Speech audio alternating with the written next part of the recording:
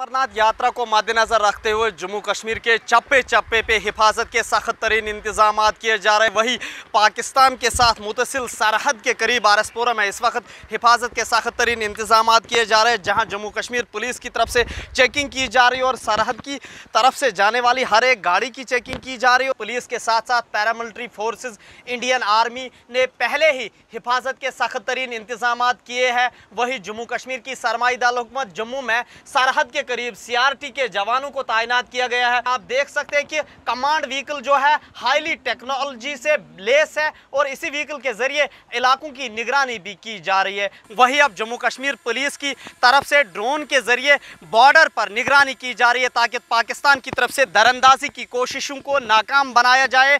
Drone surveillance के ज़रिए इन दरअंदाजों को नारकोटिक्स ड्रग्स पर नज़र रख रही है ताकि इनकी निगरानी इसी चीज़ से की जाए। पहले ही जम्मू कश्मीर कौमी शहरा पर भी हिफाजत के सख्त तरीन इंतज़ाम किए गए हैं। लेफ्टिनेंट गवर्नर मनोज सिन्हा के साथ साथ जम्मू कश्मीर पुलिस के चीफ दिलबाग सिंह ने पहले ही एला साथी मीटिंग की है, जहाँ ये फैसला किया गया है कि जम्मू कश्मीर में पाँच हज़ार से ज़्यादा सिक्योरिटी फोर्सेस की तैनाती इस अमरनाथ यात्रा के लिए रहेगी। ईटी भारत उर्दू के लिए जम्मू से मैं मोहम्मद अशरफ।